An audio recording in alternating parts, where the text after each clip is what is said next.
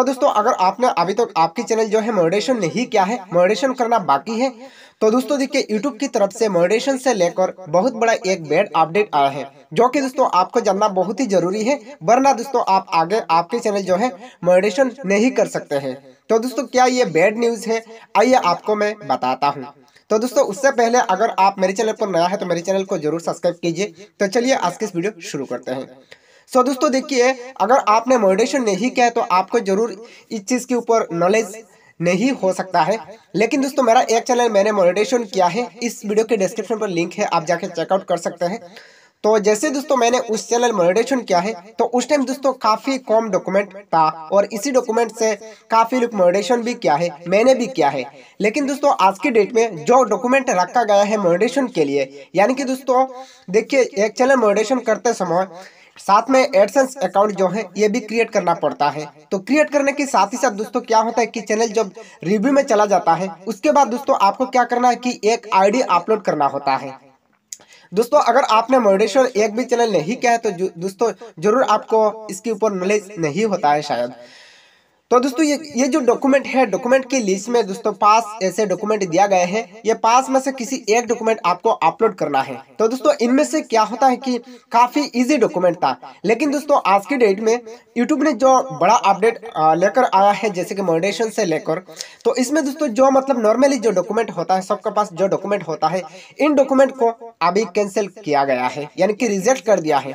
तो दोस्तों, अभी किन किन डॉक्यूमेंट से आप चैनल मोडेशन कर सकते हैं, इसके ऊपर मैं बात करने वाला हूँ। दोस्तों, अगर आपके पास ये डॉक्यूमेंट नहीं है तो दोस्तों, आपको ये डॉक्यूमेंट सबसे पहले बनाना पड़ेगा, वरना आप आपके चैनल जो है मोडिटेशन नहीं कर सकते हैं।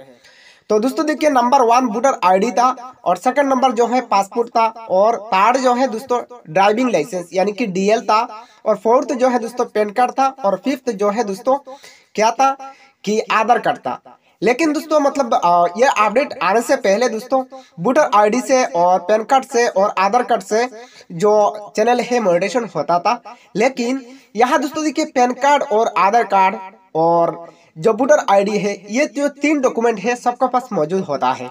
लेकिन जो पासपोर्ट होता है ना मतलब काफ़ी कम मात्रा में देखा जाता है तो मतलब पासपोर्ट शायद हर एक लोगों के पास नहीं होता है क्योंकि आपको पता होगा कि पासपोर्ट इन लोग बनाया जाता है कि जो मतलब एक दूसरे से एक, दूसरे कंट्री जाने के लिए पासपोर्ट होता है।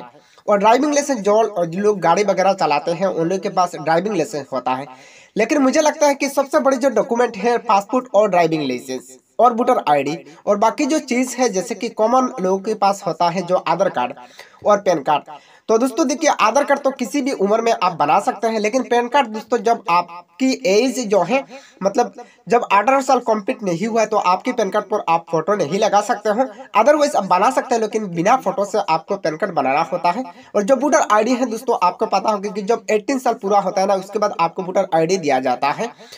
तो दोस्तों इनमें से जो डॉक्यूमेंट कैंसिल किया है, मैं अभी आपको मैं बताता हूँ। जैसे कि दोस्तों देखिए अगर आपकी एज अठारह साल कंप्लीट नहीं हुआ है तो आपके पास वोटर आईडी नहीं है। आपकी एज जो है मतलब अठारह साल पूरा नहीं हुआ है तो आपके पास पैन कार्ड नहीं है। अगर पैन कार्ड है तो उसमें फ़ोटो नहीं दिखता है। तो इन जो पैन कार्ड है, इसमें काम नहीं चलता है, क्योंकि फ़ोटो वाला चाहिए।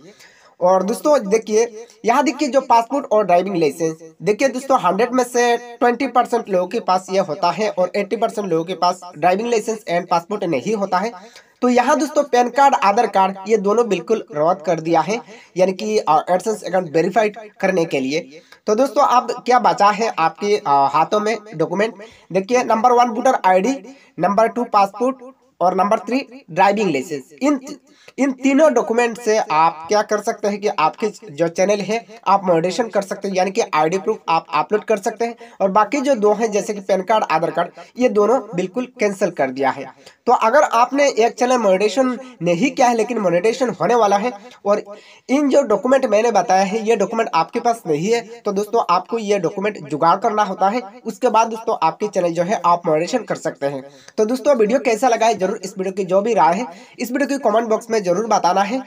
और दोस्तों, मिलते हैं नेक्स्ट किसी अनदर वीडियो में, तब तक के लिए जय हिंद, जय भारत।